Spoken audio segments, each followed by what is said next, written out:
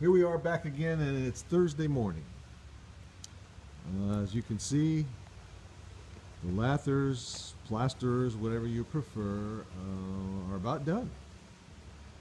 They almost finished yesterday. They're ready. I mean, this can be inspected. The inspector will pass or deny this as it stands right now. I mean, based on their reputation and what he sees here. They check nailing, they check the way the paper's done, all that kind of stuff. Caulking around the outlets, you know, all that stuff that makes it waterproof or, or not waterproof. But it's ready. And electrically, I've got everything done inside for, again, for inspection. All the rough you see the, the covers are on the boxes finally. Okay. Um, the ones up high are done. Okay, you can see them all over there. Okay. And we got done with the floor. Looks nice and clean now. The paper's all retaped. The edges are not rolled up and show, you know, and exposing the concrete. well, guys, we're here yesterday. You know, the the uh, internet provider types and they reconnected the new the cable to the new location coming down there. And then it, obviously, if you remember, it goes underground and it ends up back at the house over there where it used to be attached by overhead wires coming in right there. Eventually, that one will go away too when we uh, relocate that to the new end. All right, so what I'm working on today is the remainder of the electrical back here at the house. I have to go. Remember I showed you the, the wiring going underground that's going to feed the house from the new service location. It eventually will come back to that box right there. Uh, it will go. I'll make another hole in this box right here and I'll run a conduit that extends that wire that we pulled. You remember the red, white, black and green that we pulled underground will come back and end up in that box. It'll feed that switch right there, which is a main breaker that turns off all the power to the house. Here's the last ground wire we pulled. This goes through the wall right there in that in that fitting right there. It goes through the wall into this box from this box, it goes out the top and it has to work its way all the way up there to about 35 feet straight ahead to where the cold water comes into the building. And that why that green wire has to tie in within five feet of where the main valve is on that cold water.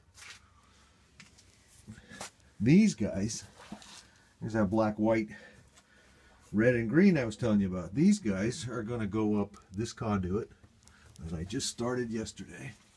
You see it comes up here and it ends right now right there.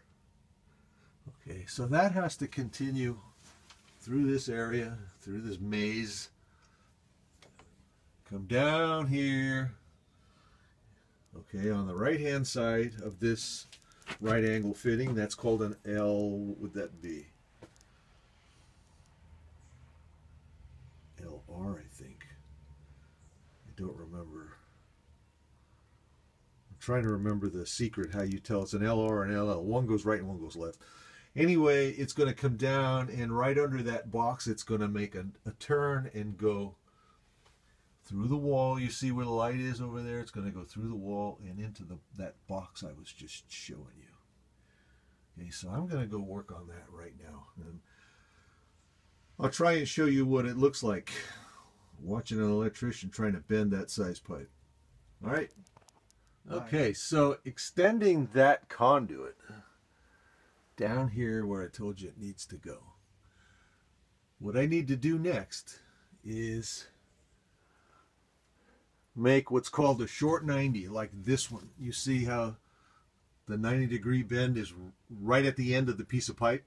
I need to make one of those that'll that'll point down and that and put a little the beginning of a bend. It's called a kick. In other words, take the pipe and still instead of it being straight on the part that goes away from that 90, the the leg of that bend. Uh, I got to make a kick in it that moves the 90 over eight and three eighths inches. So we're gonna go start doing that.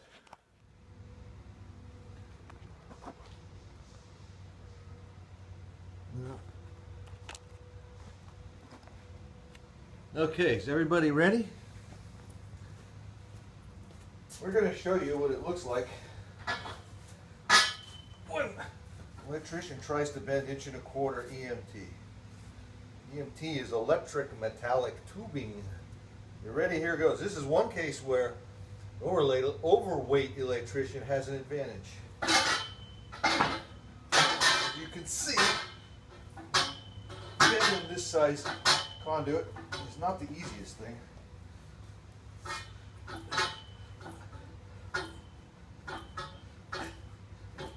Can't hardly pull on the handle. Because if you do, the bender comes up off the conduit and allows the conduit to kink because it comes out from between the two sides of the bender.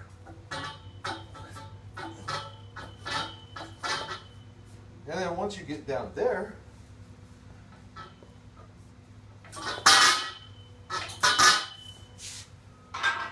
you do that and you start all over. Ready? Here goes.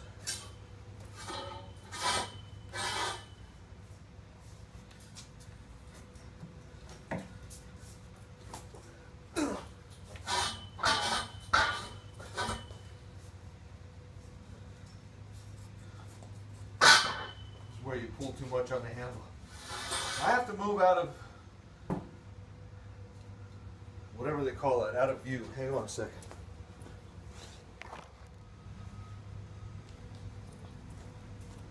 All right, let's see if we can bring this the rest of the way up.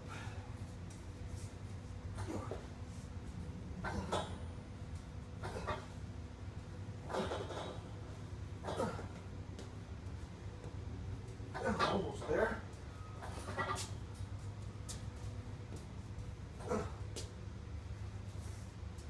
So, this is a square end. This end has never been cut.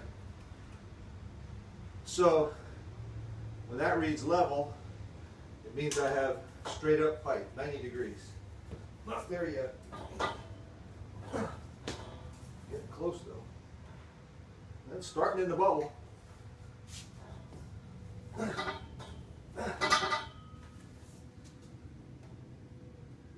That's good. Anything, touch over. Oh yeah, that's perfect The floor isn't exact, exactly level, but that's close enough. You can see that's a pretty good looking 90. Nice radius, no kinks. Now, I have to do this.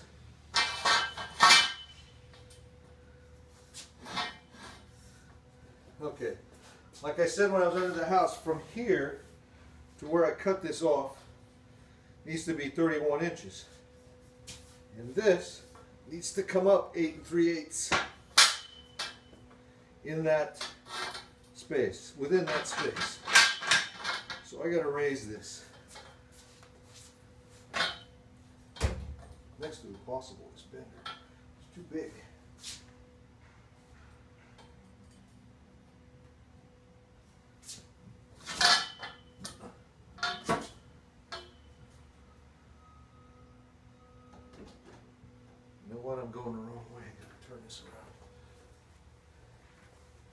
Around. Pull it the wrong way.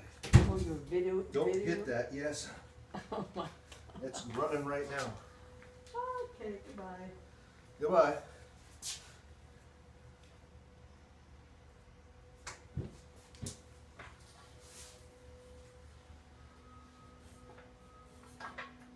This is gonna, gonna be tough. I screwed up started it the wrong way.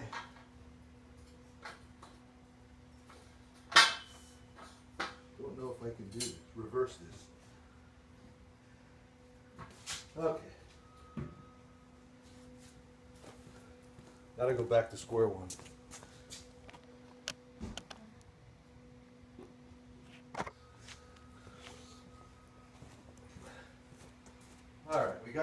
first. See if I keep it square. A little more.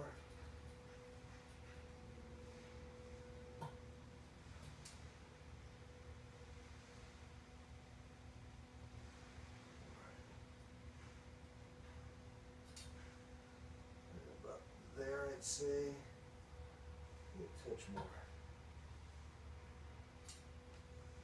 All right. Now, at the bottom of the conduit, where it's sitting right on top of those blocks, it's eight and a half, or that's eight and that's eight and a half. I'm looking for eight and three eighths, which is real close.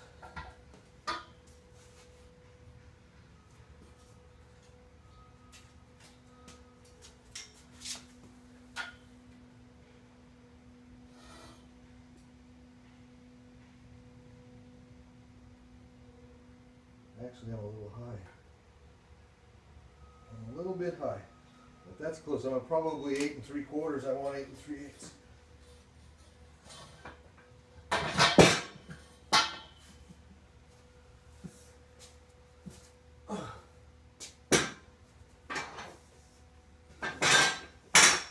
All right, we're gonna cut off this tail and go see how that works. Okay. Here's the piece of conduit you just saw me make. It goes right from that coupling, where is it? That coupling right there. Through the strut strap, right there. There's the 90 down to the end of it right there. I moved that that piece of strut I had to lower because it was right where the fitting, right where the coupling is going to be. I'm about to put the next piece on right now. All right, there's the next piece. Down and around, heading towards that service, that main disconnect. So now what I have to do, the last piece, I have to make an offset. Kind of dark in here and I don't have a light. An offset that mimics that one to go into the box, up higher on the box. I'll show you what that looks like. I got the cover off.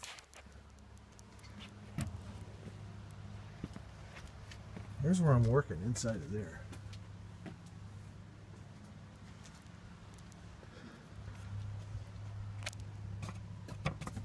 I lied, I don't have the cover off, but there's where it's got to go.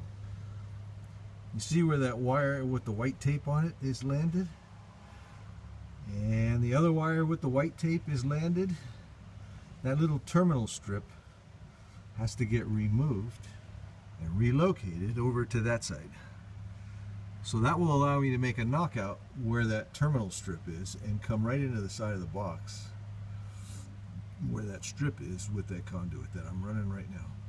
Those wires will come in and they'll land where you see the red one and the black one and obviously the white one will go on the little terminal strip. The ones coming down now from the meter won't be there because the meter will be gone. The meter now is going to be on the back of the garage. Got it? Okay, there it is. And it's the middle conduit you're looking at that we just finished. Installing. Actually, it's not complete. The connector on the outside has to wait until I can make a new knockout. Like I said earlier. I'll show you what that looks like.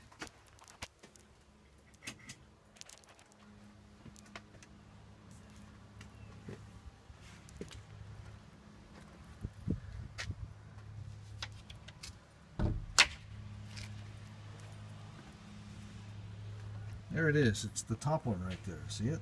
Not quite finished.